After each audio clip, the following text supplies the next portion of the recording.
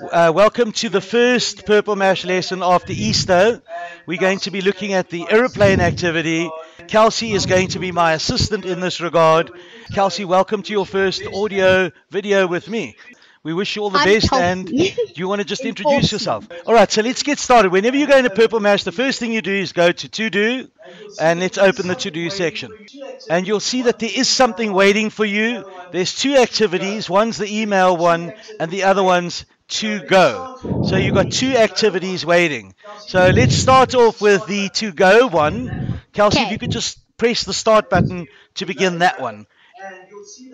Okay, so we've, we're loading up, and you'll see that some of the activities are really easy, some of them a little bit harder. We're going to go through the challenges. There's a number of challenges that need to be done. So we're going to press the challenge button. That's correct, Chelsea. And we'll start off with number one. I'd always suggest that you start off with one, go up two, three, and move up that way because sometimes the simple activities give you the knowledge to do the more complicated stuff. Coding is like that, and Purple Mash seems to be designed in that way. So, Kelsey, you're quite well, right. Guide the fish to the treasure chest. This one's pretty simple. You basically you are that fish, and you've got to get to the treasure chest, and you'll see this little white blob over there. So, Chelsea, let's go through that. You can even move across there. So we're going to move to get to the treasure chest. And you've got to just, once you get to the treasure chest, Yes. you've achieved your destination. Now, some of these activities you'll see they will repeat. It says, you've done it, try another. Don't press the OK button because that'll take you out of this. Press the cup to show another challenge. And says, drive the car to the bank and carry on, Kelsey. Okay, so and the hospital. So we're to go to the bank and then the hospital. So when you do this one, remember you can turn and press the number, and that'll count how many steps you take in a direction. Press a number, count how many blocks one, two, three. And we've got to get to that little white part next to the bank. And press on the number when you've counted the amount of blocks. So we're calculating the distance. Two, three, four, five, six. Looks like you were one out. Should have been seven.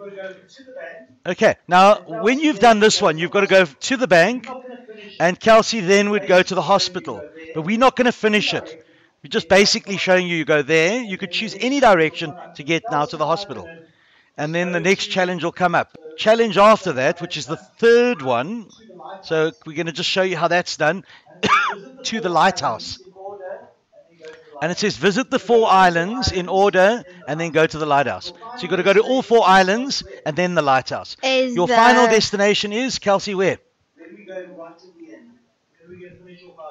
Where do we I go right at the the end? When are we going to finish off our journey? Again.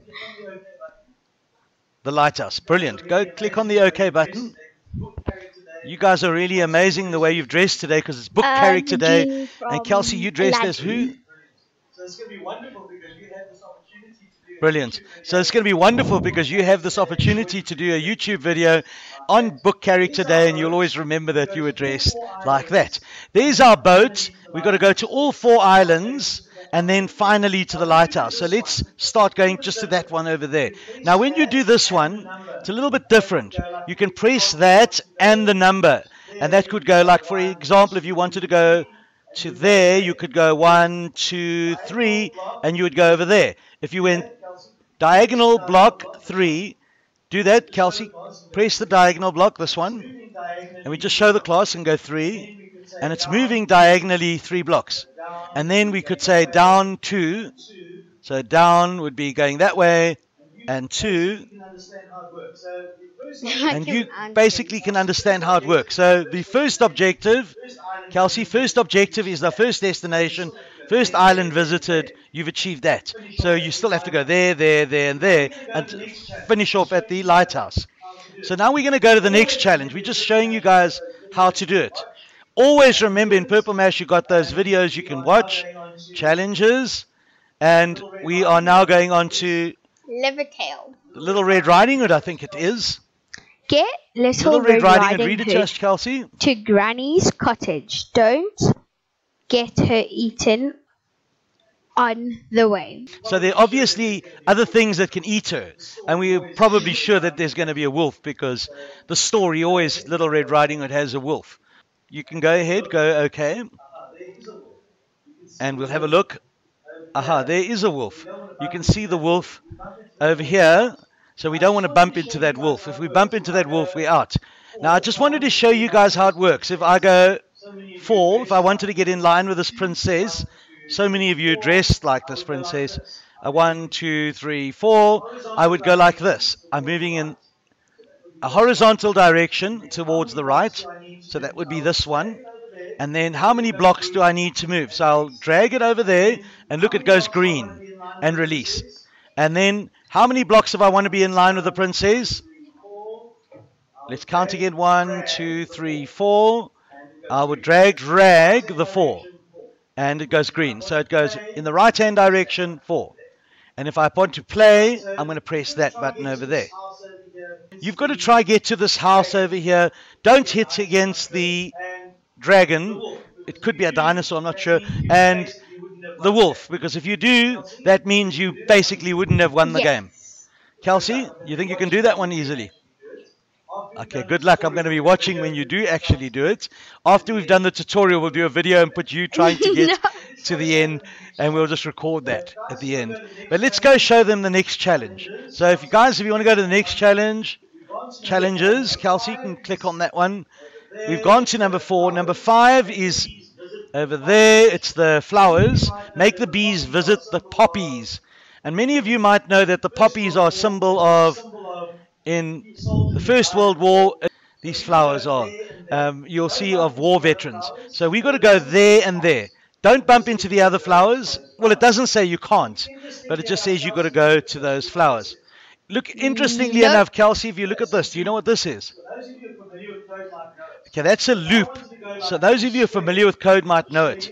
So if I wanted to go like in a square, I'll just show you. If I go right in a right direction, Kelsey, drag the right button and make it fall. So drag that that arrow, it goes green, and make it fall. Four, we're going to move a four there, and then we're going to go up four. So uh, up four, because you guys know that that'll make a square, and bring in a four next to it, and then we'll go left four. There's some of you have done 2Logo will know this. You've got to just wait till it goes green, drag it, and then watch when it goes green, and then bring in the four. I'll move mine out of the way. Drag the four into that space. I think you have to go really over the four and make sure you got the number. Yes, it's not working. Uh, is it not working? Okay, let's just try again. I'm not sure why it's not working. Three. Does it- Uh, maybe because I'm moving you. Try Chelsea. Uh, Kelsey. I've moved my mouse away from you. But basically, what I was going to show you that if you go and you change this to a higher number, then it could go four. It'll make a square and it'll go round and round and round. That's called a loop. In computer code, this is called a loop. So you can practice with that if you want to, but you've got to try get to these poppies, Try get back to your destination. the two poppies, Let's go to and try get back to your destination. Let's go to the next challenge. challenge. Are you still there, Ch- Kelsey? Yes. Okay, we're going to the. Are you still there, Ch- Kelsey? It's funny It's that not we. really working. I'm not getting. I'm clicking on you. Nothing's No. happening. Is it working for you? Let's just make everything a bit smaller. Let's try refresh. I'm just going to refresh. Okay. Sometimes when your computer's stuck, We're just going to refresh it. Sometimes when your computer's stuck, refreshing the screen helps. So let's go to new challenge. Good. It's working. So now we're going to six. Travel along the flight Try that. If you're ever stuck in, in Purple Mash, just travel along the flight path to get to the spaceman. spaceman. Now look at this Kelsey? one. So little So we've got to get to the spaceman. Now look at this one. It's a little bit more difficult. You've got to go there. You can make it easy for yourself, but that's for grade one and two. I would suggest that you guys either use these two. in the and try do it. I think you won't have a problem, but you've got to move to get to the spaceman. Where exactly is the spaceman? There. So you can see there's a little white ball or white patch to indicate where you've got to go. Okay, let's go to the next one. And then we're going to record Kelsey when she's doing it at the end. And we're going to. Definitely. Oh, the cheese. We know that there'll be a mouse. If there's always cheese, there's a mouse. Get to the cheese by finding your way through the Right maze. I. I can gather there's going to be a mouse there. All right, so they're correctly assumed. I thought there would be a mouse, and it is.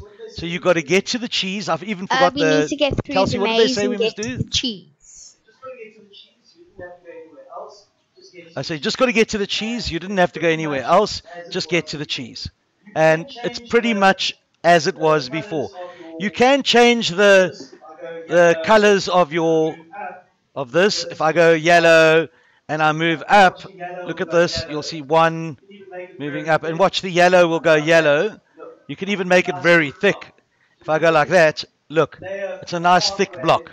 So you can make it lay a, a pathway Oh, like that. Yeah, I think. Kelsey, one more. I think we're almost finished. I can see some people are dying. Gone. Eight. Eight is the last one. Oh, win a race. This is the real. I, I thought that was the most challenging one. It says drive the car around the track by repeating the turn 90 degrees.